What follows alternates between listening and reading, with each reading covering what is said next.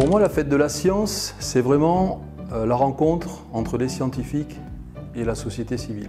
Je crois qu'il est important que les citoyens comprennent ce que font les chercheurs dans les laboratoires, dans les établissements de recherche. C'est aussi l'occasion euh, de rencontrer la jeune génération et pourquoi pas de réveiller des vocations.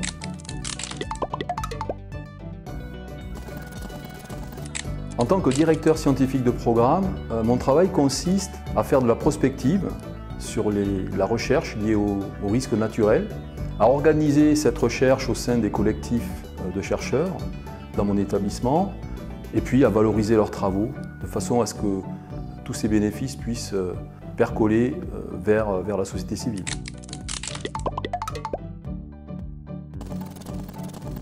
Alors, c'est une vaste question. le dernier rapport du GIEC mentionne une croissance en intensité et en fréquence des régimes climatiques.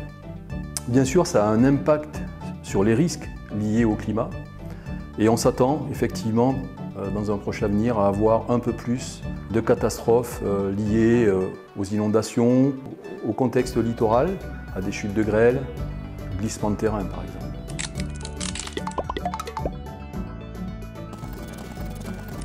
Alors ce serait plus un témoignage. Je crois que c'est quand on est face aux catastrophes qu'on en prend vraiment la mesure. Et j'ai un souvenir qui me vient euh, lié aux inondations euh, de 2016 qui se sont passées dans le Loiret, à côté du BRGM, où, euh, à cause de la sursaturation des terrains de surface, plusieurs maisons se sont effondrées dans les cavités karstiques qu'il y avait en dessous.